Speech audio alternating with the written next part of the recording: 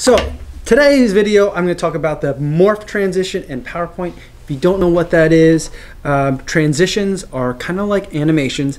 Animations are things that you can do in PowerPoint to things like a box, a shape, a picture. Um, transitions are things that you can do to slides. And I like to use the morph transition a lot like, uh, well, it's a lot like Magic Move in Keynote, if you're familiar with that. Uh, Microsoft has finally caught up to Keynote in that regard, uh, being able to move multiple things from one slide to another very easily. Um, and I'm going to show you how to do that now.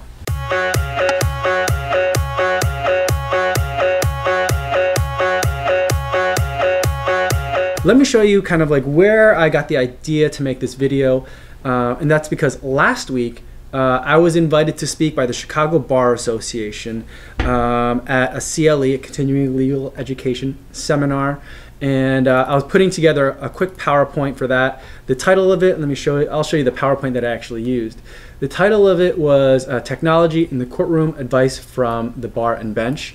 Uh, we actually presented the CLE, uh, me and uh, three other panelists, uh, from a judge's courtroom at the Daley Center, which is the state court here in Cook County, which is the county where Chicago sits. And so what I had done, and let me show you actually an excerpt from the presentation itself that uses the morph transition and is what really got me thinking about um, showing it in the video for you guys. So let's start the uh, PowerPoint from a certain slide. We'll start it from here.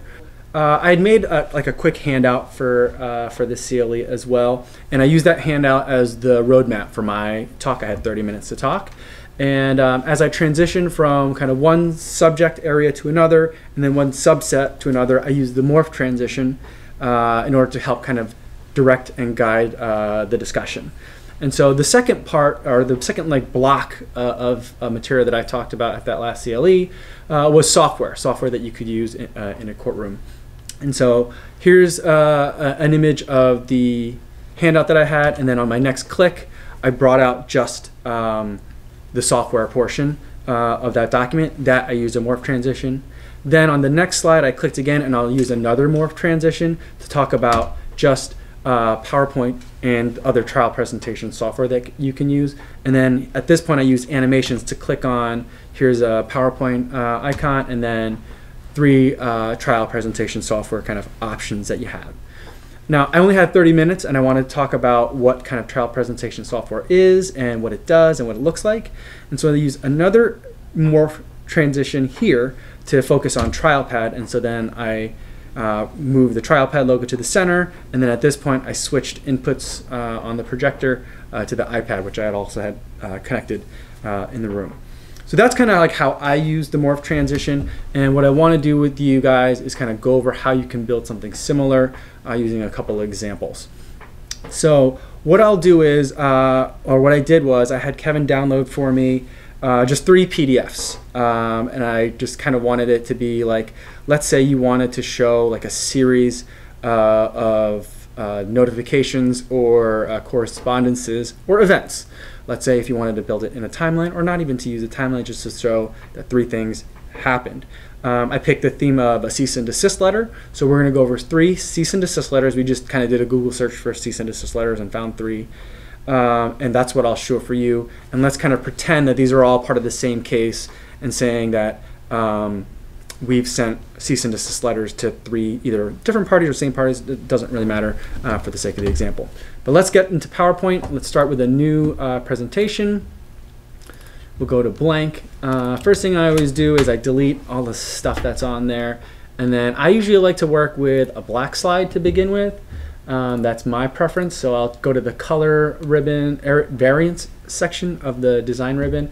I'll pick black and then I always change the fonts to Arial Arial and that's because no matter what computer you're working on, Windows, Mac, new, old, all the computers always have Arial. So anyway, that's my first slide. Uh, I'm going to hit Command, click on the first slide and hit Command D a couple of times so I can just uh, duplicate, um, or Control D, and I'll duplicate uh, the slide that's on there.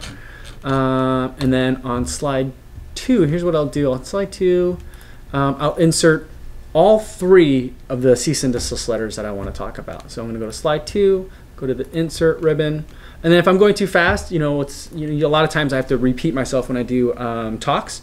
Uh, but what's nice about these YouTube videos is if I'm going too fast, just hit the rewind button. You can go back. If you're watching it on mobile, there's like a usually like a 15 second or 10 second rewind button.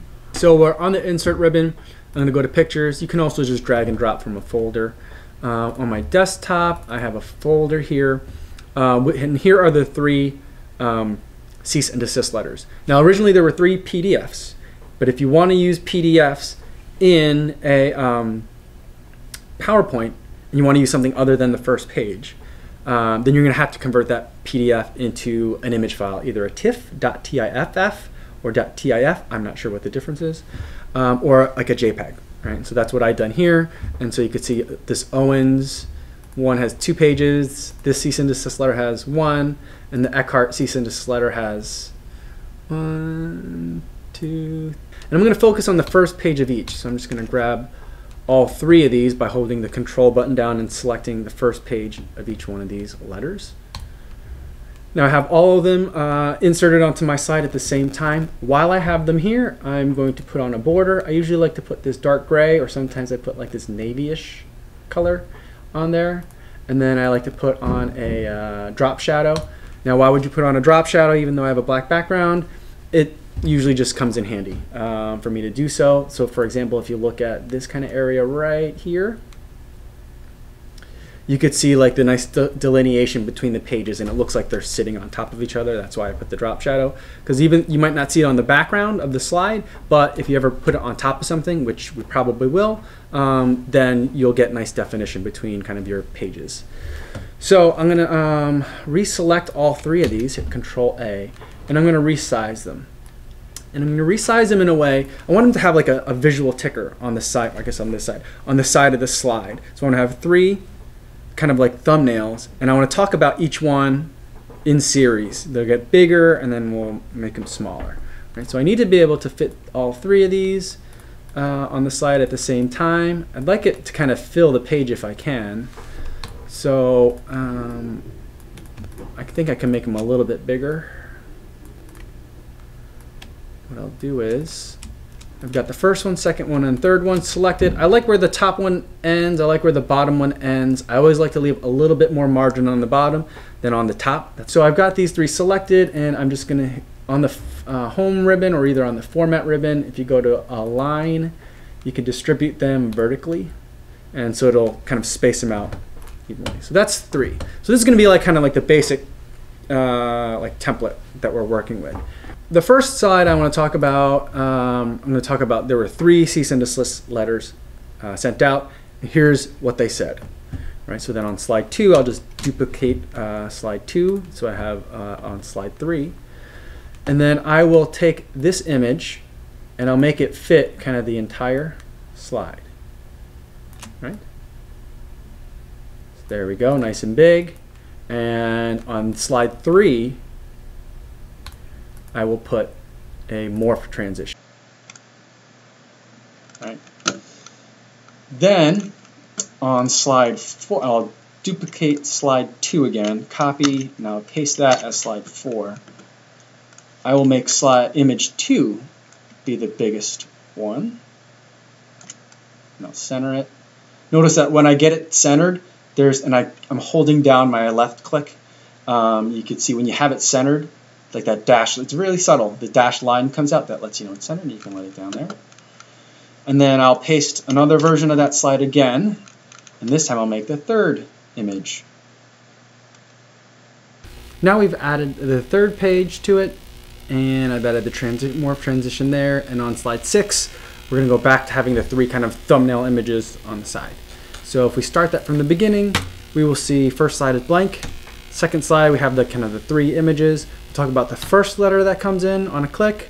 We can talk about it, then get to the next letter on the second click, and then we could talk about that for a little bit. And then on the third click, we go to letter number three. And then on the fourth click, we go back to the kind of just the thumbnail images on the side. So that's how we would treat something like this, where you need to show three things that happened, um, but kind of like the time sequence isn't that important. So things like notice, um, that's something that I would use this rather than a timeline because whether they're two months apart or two years apart, it doesn't really matter. You just want to show that there's lots of times where this defendant um, knew about something or should have known about something and should have done something differently.